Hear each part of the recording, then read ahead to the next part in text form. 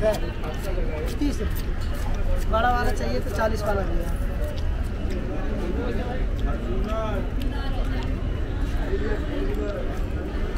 है है